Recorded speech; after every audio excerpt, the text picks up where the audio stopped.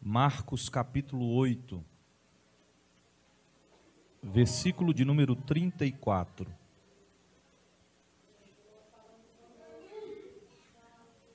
Evangelho segundo escreveu Marcos capítulo 8, versículo de número 34. Os que encontraram, digam amém. amém. E chamando a si a multidão, com seus discípulos, disse-lhes: Se alguém quiser vir após mim, negue-se a si mesmo Tome a sua cruz e siga-me. Porque qualquer que quiser salvar a sua vida, perdê-la-á. Mas qualquer que perder a sua vida por amor de mim e do Evangelho, esse a salvará. Pois que aproveitaria ao homem ganhar todo o mundo e perder a sua alma? O que daria o homem pelo resgate da sua alma? Preste atenção no versículo 37. O que daria o homem pelo resgate da sua alma? Você pode dizer amém? amém? Feche os teus olhos, curve a sua cabeça, Pai das luzes, te exaltamos Espírito de Deus, te engrandecemos e te exaltamos, porque a tua graça nos basta, a tua presença e a tua misericórdia nos sustenta. Fala conosco nessa noite conforme tu queres e te louvaremos. Amém. Podeis assentar.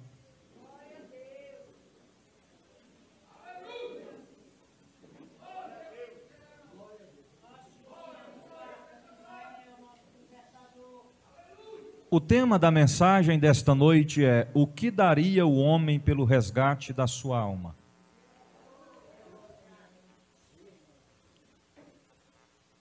Já em introdução, nós vamos destacar que todos os dias pessoas estão morrendo. A cada segundo que se passa, pessoas estão perdendo as suas vidas. Tendo suas almas conduzidas ao céu, ou ao inferno. E muitos se esquecem que o primeiro resgate já aconteceu. Repita comigo: o primeiro resgate já aconteceu. Diga assim: o segundo resgate está acontecendo. Agora diga: o terceiro resgate não vai acontecer. Então, nós vamos aprofundar nesses três conceitos nessa noite.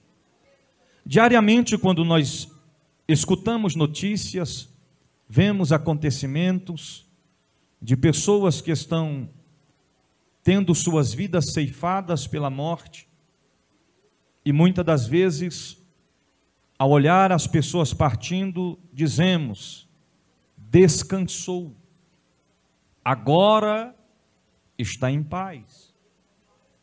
Isso vai depender da sua vida terrena aqui na terra. Isso vai depender muito da nossa trajetória diante de Cristo Jesus. É o que vai designar o nosso futuro, se é céu ou se é inferno. A destacar-se que não existe, nunca existiu e jamais existirá purgatório ou é céu ou é inferno. Quem vai para o céu não existe sala de espera. Quem vai para o inferno não existe sala de espera. Ou vai para o céu ou vai para o inferno. Ou vai para a Nova Jerusalém, ao paraíso, ou desce ao Hades, às profundezas do inferno ou do abismo. Então nós vamos destacar nesta noite, porque o tema da mensagem está dizendo: o que daria o homem pelo resgate da sua alma. Então, se nós pudéssemos pagar, sem sombra de dúvidas, nós pagaríamos. Quando nós falamos a respeito de resgate, podemos falar em humanamente falando, uma pessoa em um prédio em chamas, pegando fogo. E imediatamente eles entram em contato com os bombeiros, que têm a sua qualificação designada a isso, apagar o incêndio. Mas quando o corpo de bombeiros chega até o determinado lugar, a primeira coisa que eles fazem é isolar a área e observar, examinar, averiguar se existe vítimas no prédio. Se existe vítimas no prédio, a prioridade dos bombeiros é fazer me ajude a pregar. É fazer o resgate. Resgatar as almas que ali estão.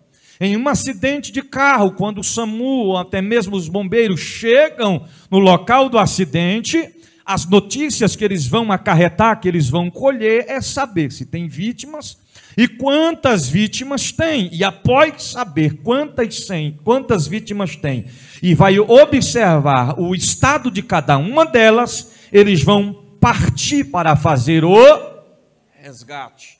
Se uma embarcação afunda em mar adiante ou um rio, quando os designados são chamados para socorrer os que ali estão, eles vão no objetivo, no propósito de resgatar as vítimas. Lembra que eu falei, que eu citei que a primeira qualificação refere-se ao primeiro resgate que já foi pago. O texto base está dizendo assim: ou o que daria o homem pelo resgate de sua alma. O primeiro resgate foi pago aonde? Na cruz do Calvário. Eu não quero estender muito, se não der tempo da gente ler juntos, os irmãos acompanham aí comigo.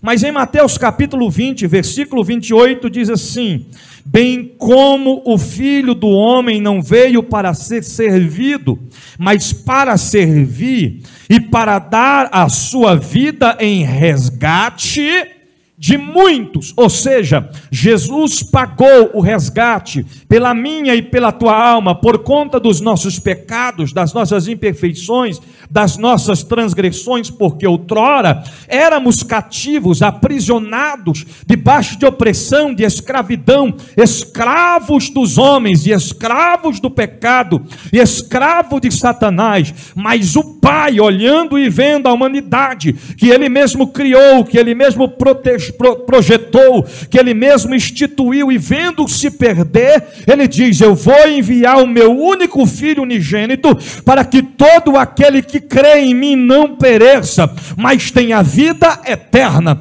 Ou seja, o primeiro resgate foi pago, aonde? Na cruz do Calvário, pregado no madeiro. Ninguém tinha capacidade de pagar pelo preço, mas o Deus da Bíblia pagou por mim e por você. Nós somos livres, nós somos livres para adorar, nós somos livres para glorificar, nós somos livres para servir, nós somos livres para estar na presença dEle, servindo a Ele, buscando a Ele. Em Tito capítulo 2, versículo de número 14 diz: O qual se deu a si mesmo por nós, para nos remir de toda a iniquidade e purificar para si um povo seu especial, zeloso de boas obras. Observa que o texto inicia dizendo: O qual se deu, ele se deu, não foi alguém que deu ele, mas ele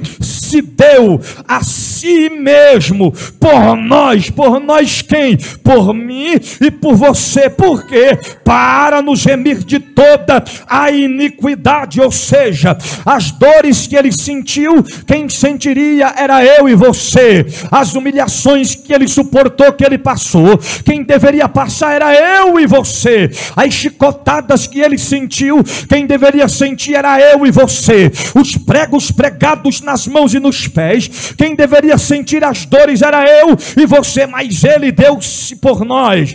Aquela coroa de espinhos que estava na cabeça dele não era para ele, mas era para mim e para você. O fel que ele bebeu, o vinagre que deram para ele beber, não era para ele, era para mim e era para você. A morte que ele enfrentou não era para ele, era para mim e era para você, mas ele diz: Eu me disponho em morrer por este povo, para que eles tenham vida e a tenham com abundância. Ele pagou o preço na cruz do Calvário. Quem está entendendo, adore a Ele nesta noite.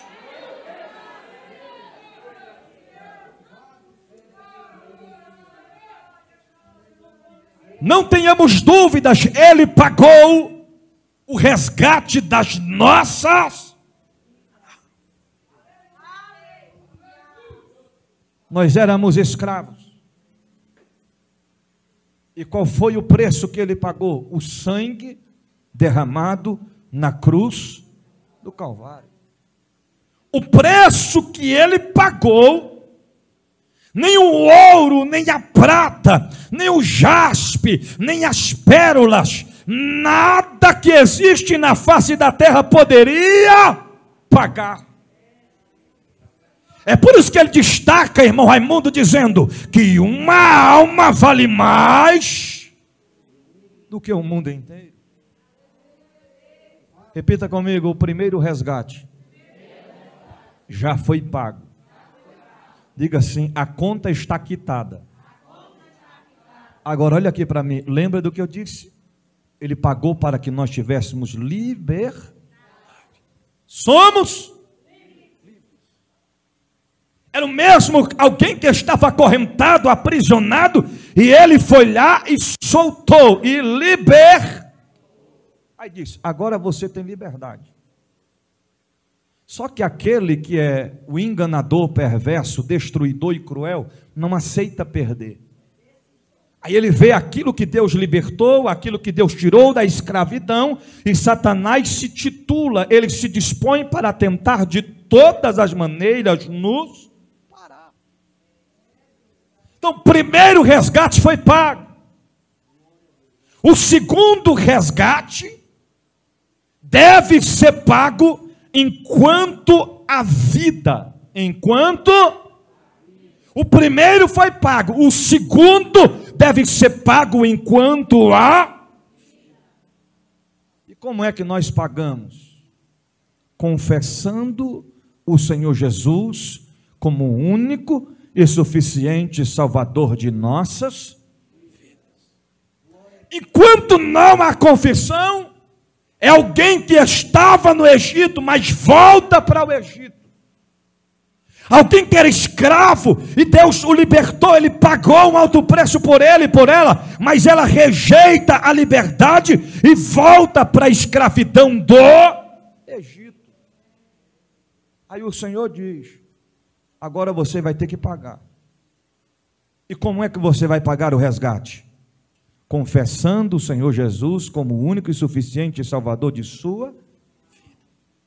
Ele não está pedindo dinheiro, ele não está pedindo ouro, ele não está pedindo prata. A única coisa que ele quer é que nós confessamos a Ele como o único e suficiente Salvador de nossas e servimos a Ele em espírito e em.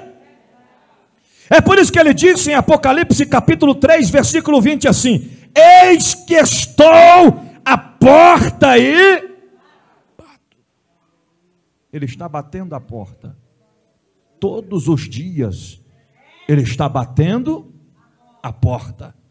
Mas ele diz assim: se alguém, quem é este alguém?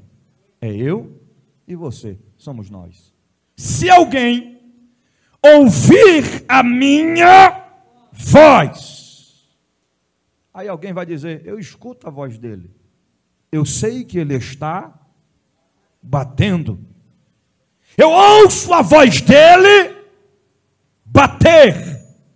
Mas não basta apenas ouvir a voz dele bater. Ele está dizendo: e abrir a porta. Ou seja, nós temos que ouvir, mas nós temos que abrir a porta. Que porta é essa? a porta do nosso coração, a porta do nosso entendimento, a porta da nossa alma, a porta da nossa comunhão com Ele, a porta da nossa fidelidade com Ele. Abri a porta, entrarei em Sua casa, e com Ele ceiarei, e Ele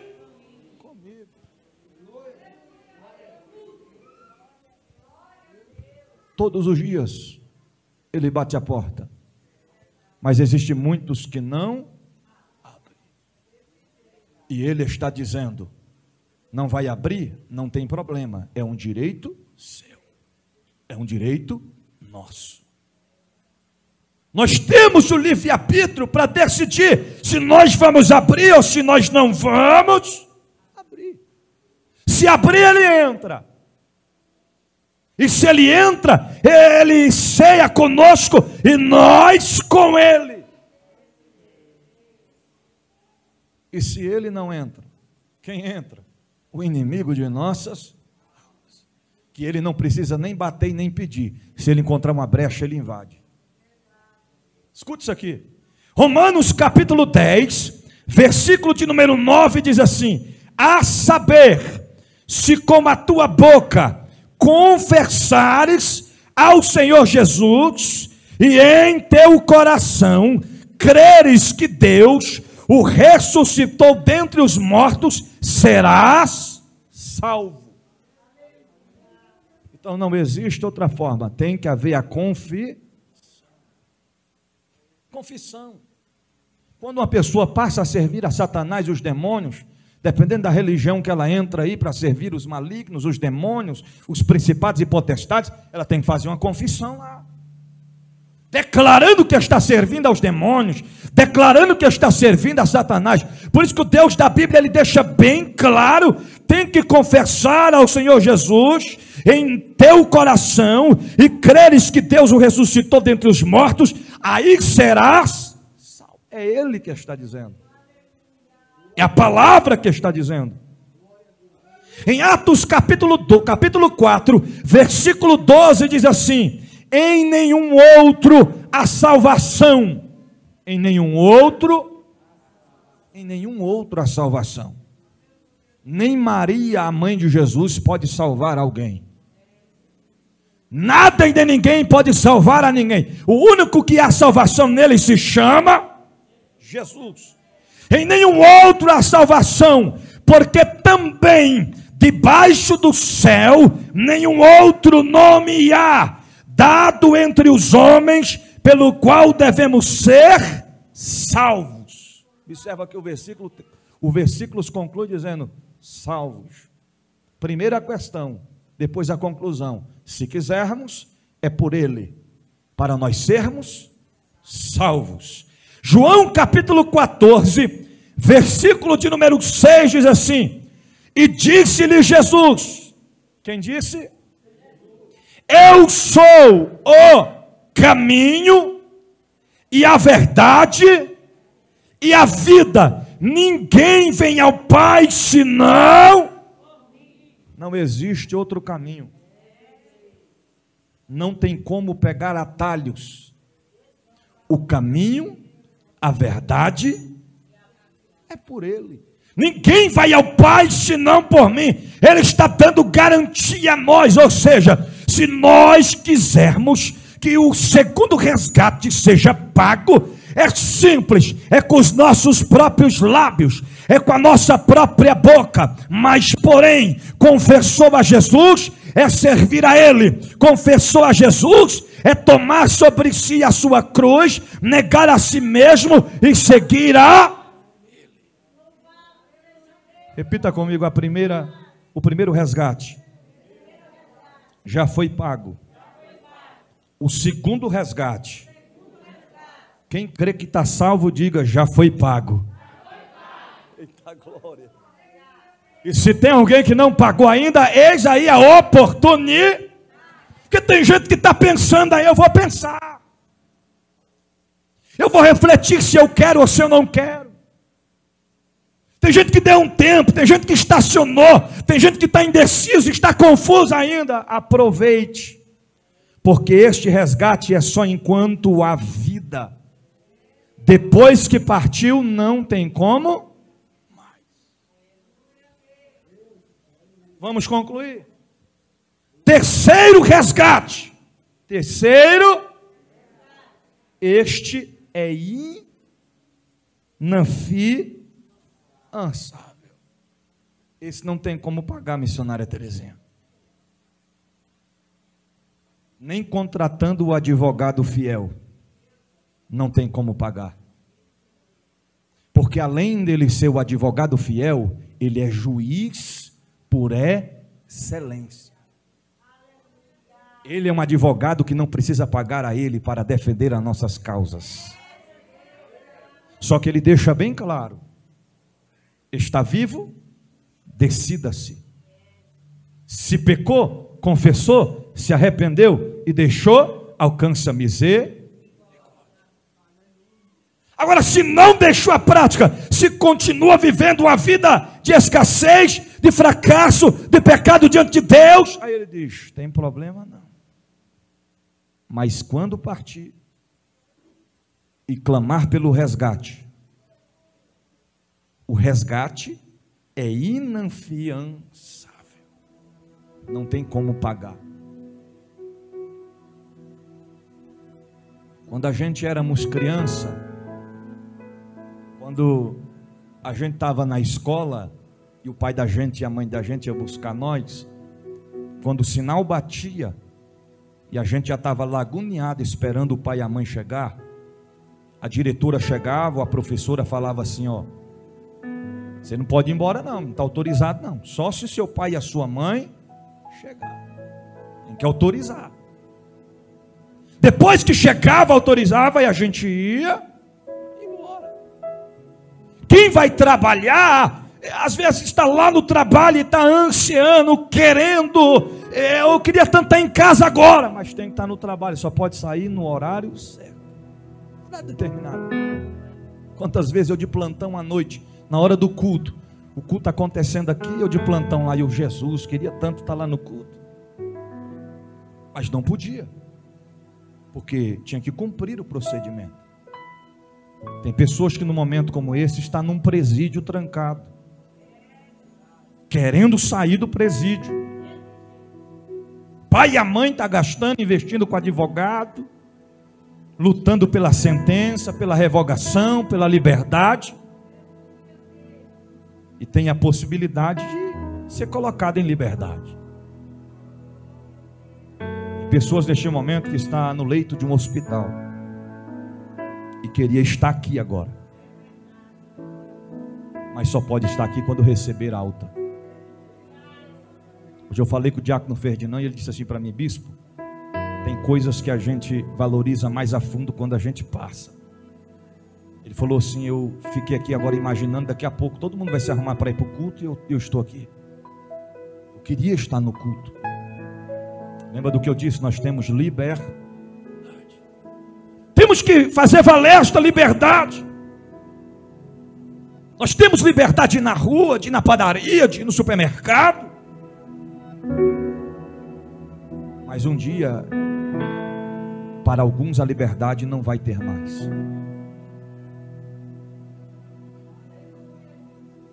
Entregou a vida a Cristo, confessou a Jesus como único e suficiente Salvador, serviu a Ele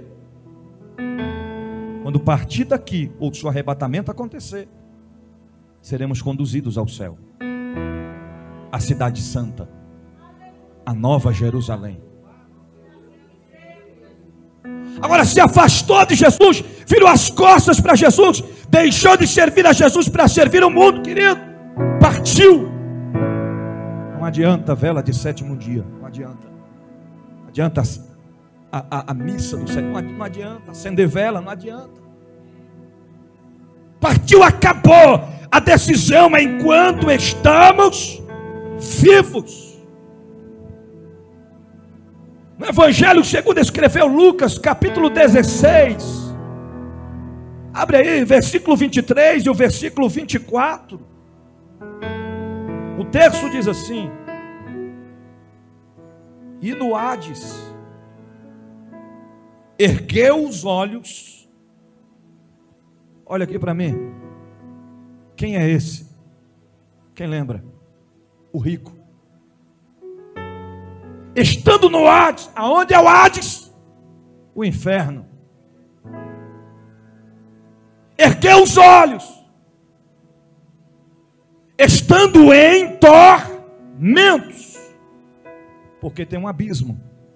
A Bíblia diz nesse mesmo contexto, é um abismo que separa o paraíso do inferno.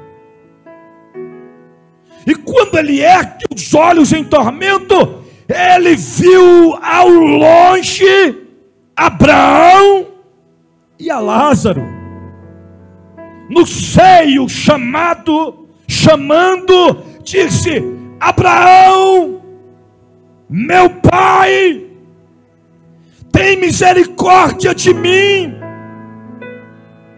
Manda Lázaro que molhe na linha água a ponta de seu dedo e me refresque a língua, porque estou atormentado nesta chama.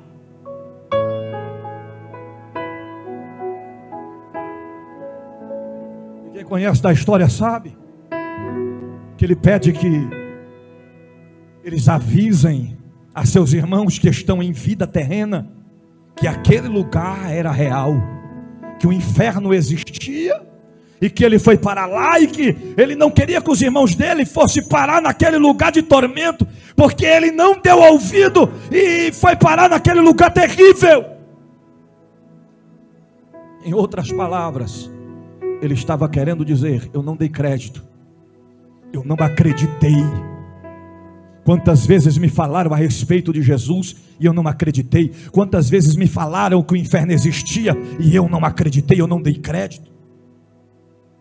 E agora estou neste lugar de tormento e a, a notícia que foi dada a ele foi a seguinte: eles não podem, não podem.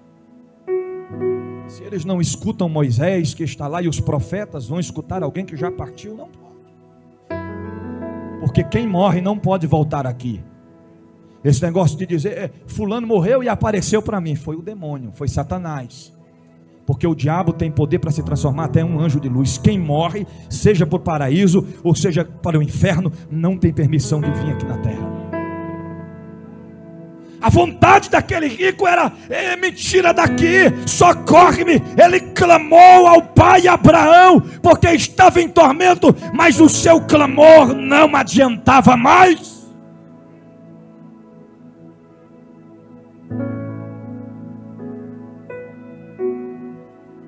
um resgate inanfiançável.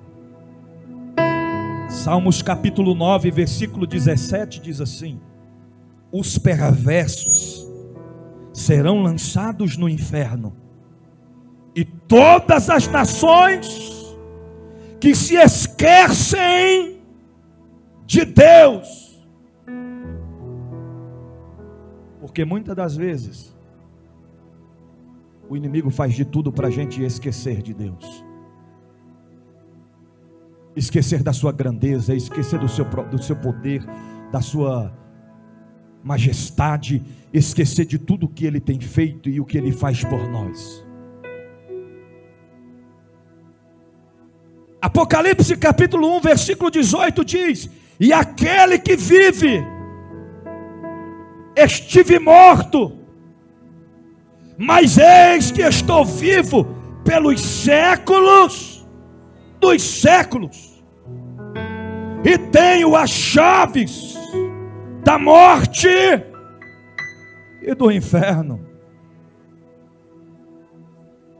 O que tem de gente no inferno neste exato momento clamando a Deus, dizendo: Senhor, tu tens a chave, abre a porta para eu sair deste lugar, e o Senhor não atende porque a decisão é enquanto há vida. Isaías capítulo 66, versículo 24 diz assim: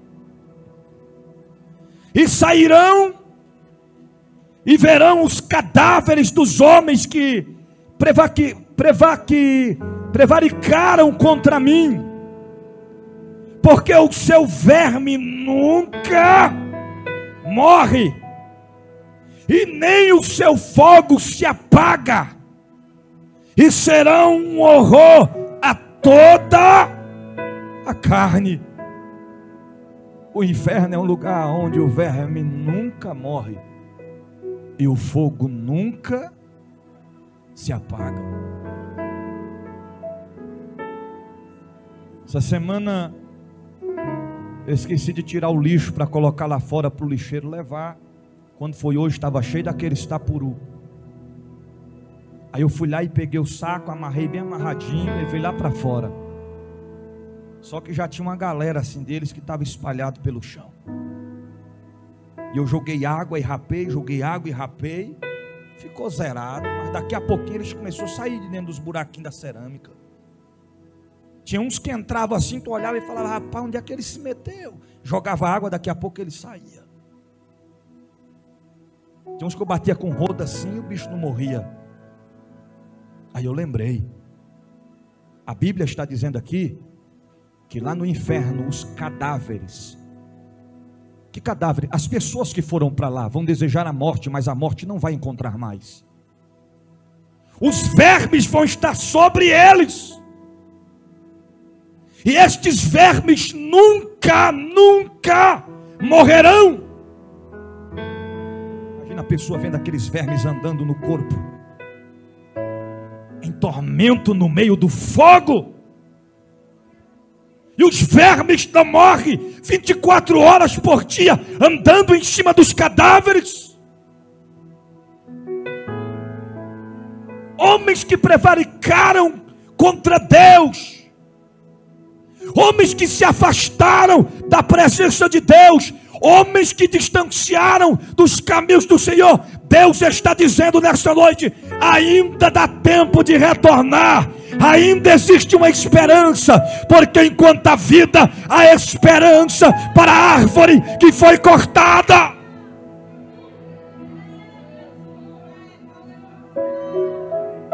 É noite de despertamento espiritual. É noite de reflexão nesta noite. Porque o Senhor está às portas.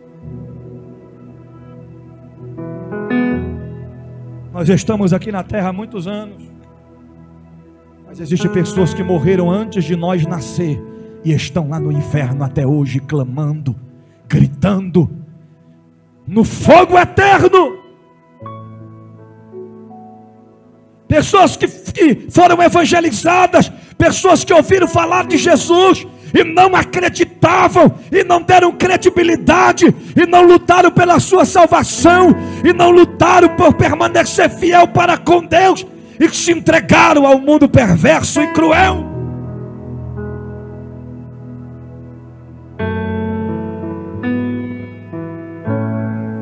Este resgate não tem como ser pago.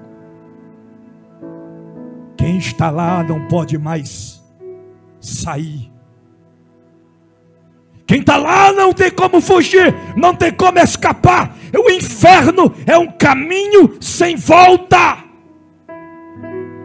O inferno é um beco sem saída. O inferno é um precipício sem fim.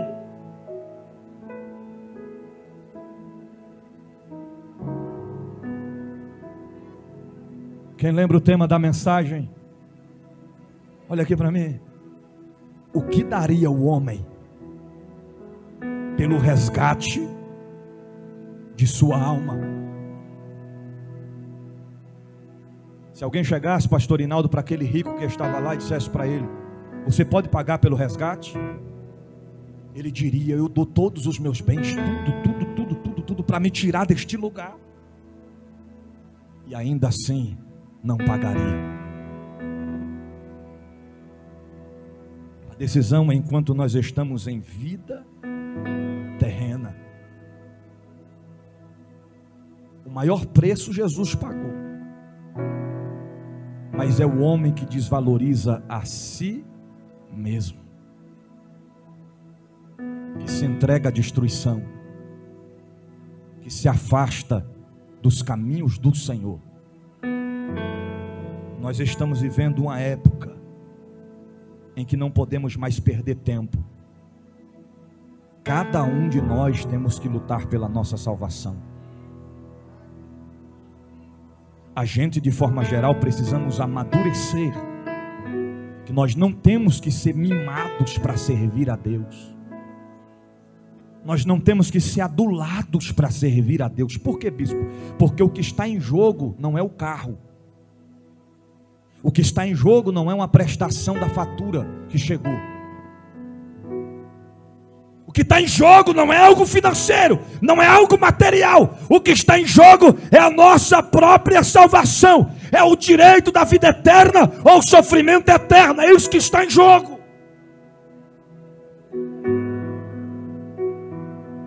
As escolhas que nós fizemos hoje, elas vão fluir o resultado no dia de amanhã. Muitos não querem ouvir mais. Muitos não estão dando mais credibilidade à palavra. E o Senhor está dizendo nessa noite que nós possamos valorizar o resgate que Ele pagou e que nós possamos manter o que nós pagamos, para que não possamos cair na condenação eterna, aonde é inafiançável. Olhe para cá, se eu, eu, eu, eu, se eu pudesse, eu ia lá e abrir a porta, pastor Inaldo, e dissesse: todo mundo que está no inferno, vem para fora, vem, sai. A partir de hoje, vida nova, vida nova. Se nós pudéssemos, é, entes queridos, amigos, colegas, pessoas que partiram sem Cristo, nós iríamos lá resgatar essas pessoas. Mas não pode. Não pode. É impossível. A Bíblia diz que a vontade de Deus é que todos sejam salvos. Porque tem gente que pensa Jesus é muito cruel, como é que permite uma pessoa ir para o inferno, querido? É as escolhas, é a decisão, enquanto está em vida terrena. Mas é um resgate que não tem como pagar. Eu imagino que tem pessoas que estão no inferno neste momento e ainda estão lá, em tor mesmo em tormento, tem uma esperança que um dia pode sair daquele lugar. Porque a Bíblia fala que quando chegar o dia do juízo final, em que todos irão comparecer diante do trono branco, depois que o julgamento terminar, a besta, Satanás, o anticristo e aqueles que se esqueceram de Jesus, que não serviram a ele, a sua parte será no lago de fogo que arde como enxofre, que a Bíblia fala e chama da segunda morte. E tem uma coisa que a gente não para para pensar. O que, bispo? Olha para que o inferno nunca vai deixar de existir mesmo quando forem lançados no lago de fogo, nas profundezas do abismo, o inferno vai permanecer para sempre. Assim como existe os céus, assim como existe a cidade santa, aonde os santos, os justos, aqueles que servirem a Deus vão morar com Ele eternamente, aonde não haverá mais pranto, aonde não haverá mais luto, aonde não haverá mais dor, aonde nós vamos viver com Ele para sempre.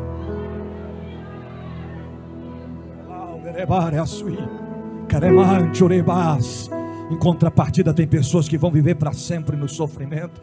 Agora diga para esse irmão, para essa irmã que está à tua esquerda, à tua direita, diga assim para ele: Nós precisamos perseverar até o fim para sermos salvos.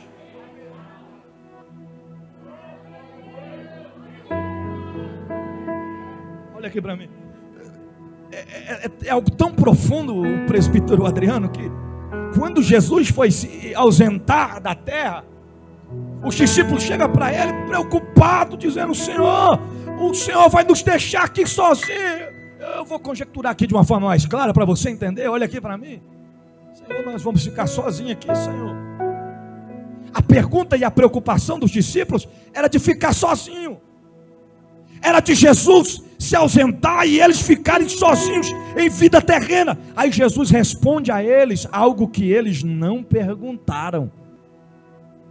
Porque Jesus poderia ter respondido só assim: Não, eu vou enviar o consolador. Quem é o consolador? Quem é o consolador, igreja? O Espírito Santo. Ele poderia responder somente isso: Eu estou indo, mas eu vou enviar o consolador. Mas não, ele diz: Eu vou enviar o consolador. Mas eu vou preparar-vos um lugar.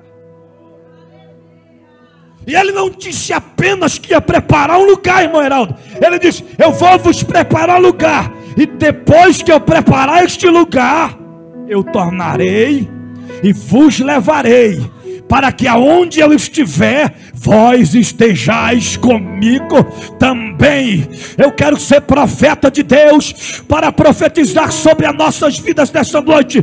Tem um lugar preparado para mim e para você.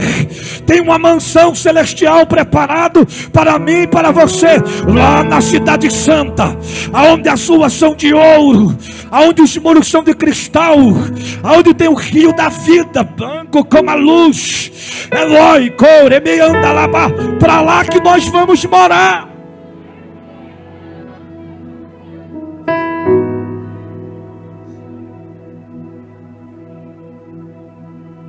Agora, se tem um lugar preparado para nós, por que é que nós vamos abrir mão deste lugar que está preparado para nós, para vivermos em direção ao sofrimento eterno? Não faz sentido. Morar numa cidade linda, como a Bíblia descreve, aonde não haverá luta, onde não haverá morte, onde não haverá tristeza, aonde não haverá dor, para viver uma vida eterna de sofrimento eterno. Isso não cabe a nós. Mas se nós quisermos morar lá, é o mesmo que Jesus estivesse dizendo, mais ou menos assim. Exemplo, estou dando exemplo, exemplo. Pastor Leandro, tem uma casa prontinha para você. Uma mansão. Viu? A rua lá é de ouro puro, viu? O muro lá que, que está em volta da cidade é de jaspe. Só que eu só vou te entregar a chave no dia do arrebatamento. Está reservada lá para nós. Coloque de pé.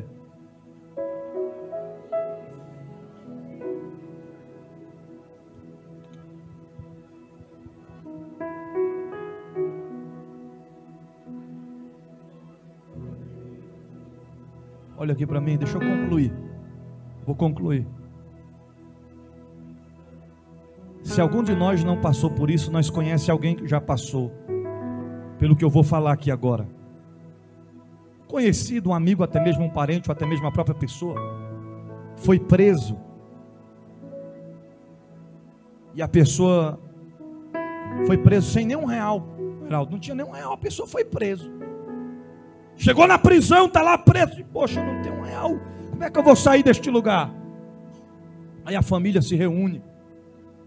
Aí um diz eu, eu empresto 500, o outro empresto mil, o outro empresto dois mil. Aí o delegado fala assim: a fiança é cinco mil reais.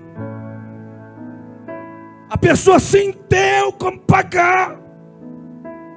Mas de repente, em uma hora, em uma hora, a família levanta o dinheiro. Não é assim? Vai lá no delegado e ó, tá aqui o dinheiro. Assina. Ops, pode soltar. Alívio. Imagine uma pessoa que morre sem salvação. Pode levantar o que for, mas não tem como sair de lá. Deus marcou essa noite para nos fazer refletir. Que possamos fazer uma reflexão nas nossas vidas. Eu examino a minha e você examina a sua. Está entendendo? Nós estamos prontos. Nós estamos preparados. Porque os índios queridos que partiram com Cristo estão lá adorando a Deus neste momento, e o anseio é que nós também estejamos lá futuramente.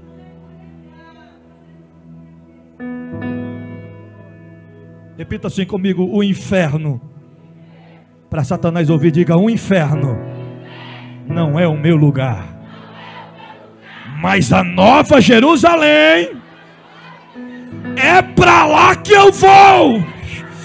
Alabaraço e me canta alabar e afaço. Sinta a presença de Deus nessa noite. É por isso que o diabo está fazendo de tudo para te entristecer. É por isso que o diabo está fazendo de tudo para te parar. É por isso que o inferno tem se reunido, tem se levantado contra a nossa vida, contra a nossa história. Mas nessa noite o Deus de paz marcou para te dizer: te prepare, porque Ele está voltando, Ele está vindo aí, não vai demorar. Nós vamos morar com Ele na Cidade Santa.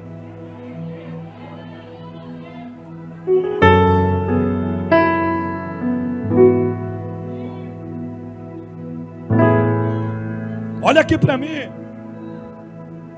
Na Cidade Santa não vai chegar a fatura da Enel.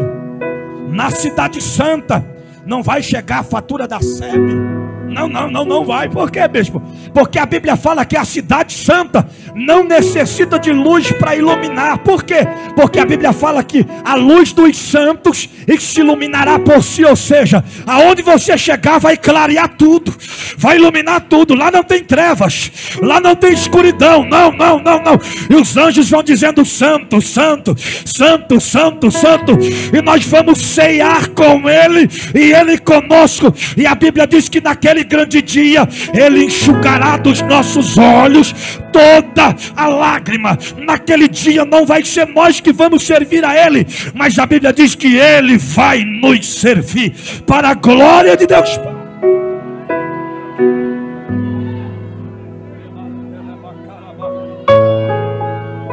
Feche os teus olhos aonde você estiver e comece a adorar a Ele.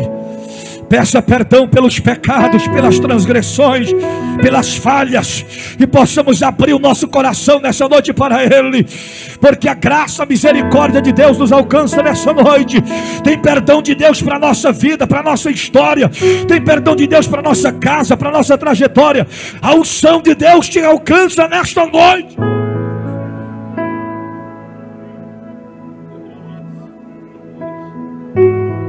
Quero, eu quero concluir perguntando nessa noite: aonde é que está você que entendeu o que a palavra diz e você quer fazer um encontro com Jesus em prática nesta noite? Porque nesse momento tem filhos clamando no inferno, dizendo: Mãe, pai, me tira deste lugar, pai, socorre, mãe, me tira daqui. E não tem como sair de lá. É noite de oportunidade. É noite de você tomar uma decisão diante de Deus. Aleluias. Aleluias. Aonde é que está você que reconhece que precisa dar um passo adiante e confessar a Jesus como único e suficiente Salvador da sua vida? Se tiver alguém, levante a sua mão para o céu assim. Nós vamos orar por você nessa noite. Tem alguém? Tem alguém nessa noite que abra o coração? Para fazer valer tudo que Jesus suportou e passou por você nessa noite, por nós? Tem alguém nessa noite que queira entregar a sua vida a Jesus, a Cristo, que queira se conduzir no caminho eterno da eternidade nessa noite? Está aqui a primeira alma para Jesus. Aleluias. Hoje é aniversário da diaconisa Enedina e não poderia ser um presente diferente e mais valioso do que a filha no altar de Deus. Aleluia! Aonde é que está a segunda alma para Jesus nessa noite? Ele resgatou a sua alma, a sua vida para a luz. A vontade de Deus é que nós tenhamos vida eterna e vida com abundância. Tome uma decisão hoje, uma atitude hoje, vem para Jesus. Deixa Ele mudar a tua história, a tua trajetória nesta noite. Aleluias, aleluias. Aleluias, aleluias. Eu vou perguntar mais uma vez: aonde é que está você que queira decidir nessa noite servir a Jesus? A gente não, a gente não muda primeiro para depois servir a Jesus, não, a gente serve para depois mudar. Porque tem gente que fala assim, eu só vou fazer uma aliança com Jesus depois que eu tomar algumas atitudes, mudar algumas coisas. Não. Primeiro você toma uma decisão diante de Jesus e ele vai te ajudar a fazer as mudanças necessárias. Vamos orar? Eu vou perguntar pela última vez: tem alguém para Jesus nessa noite? Tem mais alguém que queira vir fazer essa aliança com Jesus? Tem mais alguém? Eu sei que é uma batalha travada no teu coração aí agora para você não vir. Os obreiros aqui me lembram de orar pelo diácono Ferdinando, ele está nos assistindo agora, viu? Quando terminar aqui, não esqueça, eu quero orar. Eu vou perguntar mais uma vez aonde é que está você. Ele marcou esse encontro contigo para mudar a tua história, para escrever o teu nome no livro da vida. Vem para Jesus nessa noite. Rompe esta barreira que está tentando te impedir de você prosseguir em direção à vida eterna. A maior decisão que o homem ou a mulher de Deus pode tomar é confessar a Jesus como único e suficiente Salvador de sua vida. Está aqui a segunda alma para Jesus.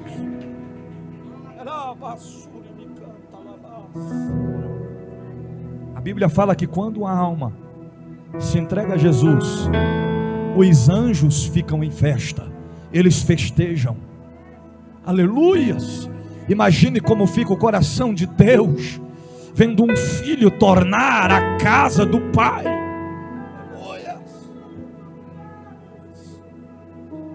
Nós, estamos em uma guerra nesta noite. Tem pessoas que estão com vontade de vir fazer uma aliança com Jesus, mas está com medo. E o Deus da Bíblia manda te dizer: não tenha medo, filho, filha, venha. O Senhor quer mudar a tua história. Ele quer mudar a tua trajetória, Ele quer preencher o vazio da tua alma. Ele quer trazer a alegria e a paz que o mundo não pode te dar. Não vou insistir. Tem mais alguém? Não tem? Tem mais alguém? Tem mais alguém? Então vamos orar. Enquanto eu estiver orando aqui, olha aí, olha aí. Vem cá, David. Fica do lado do jovem aqui, David. Aleluia. Aleluia. Fica aqui, Fernando, ó. É um jovem. Aleluia. Aleluia. E é bem meu nuro. Tem mais alguém? Eu espero, irmão. Se tem um momento que a gente não tem que ter pressa, é o momento do apelo. Isso aqui é uma oportunidade que Deus está dando. Talvez amanhã não tenha mais tempo, porque o amanhã pertence a Deus. Aleluia. Aleluia. Se você está perto de alguém aí que está distanciado, afastado, convide ele, convide ela. Não forçar, só convide, fala, vá lá, meu filho, vá lá. Jesus te chama. Ele quer mudar a tua história nessa noite. Abra o teu coração para o Espírito Santo de Deus. Labar me canta. A alegria do mundo é instantânea, momentânea, passageira, mas o que Deus tem é eterno. Tome uma decisão hoje diante de Jesus. Atenção para mais uma chamada. Aonde é que está você? Que reconhece que precisa de uma nova história o Deus da Bíblia te chama nessa noite. Ele está chamando você para um compromisso com Ele, para uma aliança com Ele. Vem para Jesus nessa noite.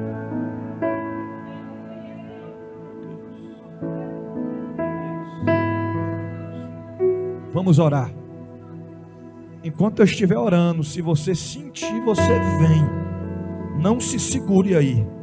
Não se segure em nome de Jesus todo impedimento, toda barreira, toda muralha seja lançado por terra em nome de Jesus. Os que estão aqui na frente fazendo aliança com Jesus, repita assim comigo: Eu confesso o Senhor Jesus como o único e suficiente Salvador da minha vida, perdoa os meus pecados, sara as minhas feridas, escreve o meu nome no livro da vida e eu te servirei. Amém. Senhor Deus e Pai, aqui estão teus filhos diante da tua presença. Ó Deus, que estão fazendo uma aliança contigo nessa noite. Ajuda-os a prosseguir na tua presença. Firma os passos na rocha. Meu Deus, conduzindo pelo caminho da justiça. Acampa teus anjos aonde eles estiverem e que possam te servir em espírito e em verdade, até que o Senhor venha eu profetizo renovo, fortalecimento espiritual, alegria de Deus, paz de Deus, unção de Deus, uma nova história, em o nome do Senhor Jesus. Amém. Quantos podem dizer amém? Pode aplaudir a Jesus. Dá um abraço neles aí nelas. Pode voltar para os lugares.